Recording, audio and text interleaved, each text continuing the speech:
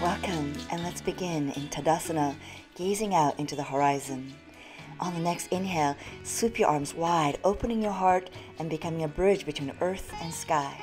Exhale, swan dive forward, bowing to your heart. Inhale, offer your heart to the horizon in Ardha Uttanasana and step or jump to Chaturanga Dandasana. Inhale, take it up to upward dog. Exhale to downward facing dog. Square your hips to face your right leg. Slice your left arm across the space and place your hand either on the inside of your foot or to the little toe side of your foot. Now ground the back heel. That is very important.